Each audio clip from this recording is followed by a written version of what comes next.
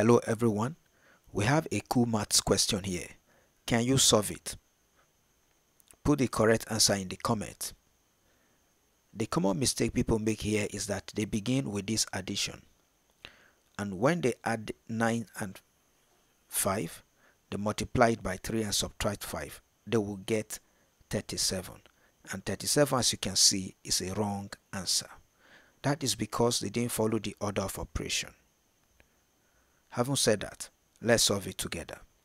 To solve this question correctly, we have to follow the order of operation called PEMDAS. Using PEMDAS, P stands for parenthesis, bracket, and bracket is not here. E stands for exponent, something like 2 square. When we look at the question, it's not there. M stands for multiplication and D stands for division. You work from left to right. Look at it here, we have multiplication. So we have 9 plus 5 times 3 will give us plus 15 minus 5. The next one here is addition and subtraction. You work from left to right. Looking at it from the left, addition came first. So we are going to work addition before subtraction.